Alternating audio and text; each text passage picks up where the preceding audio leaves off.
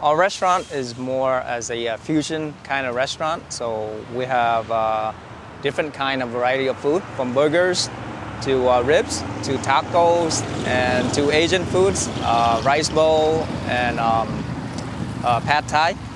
And we also have uh, finger foods that good with the drinks.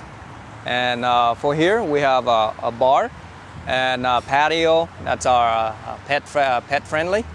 And for our bar, we have, uh, as you can see, we have a varieties of uh, uh, beer selections from lo- local craft and also mixed, uh, mixed drinks that you can uh, order and enjoy your live entertainment.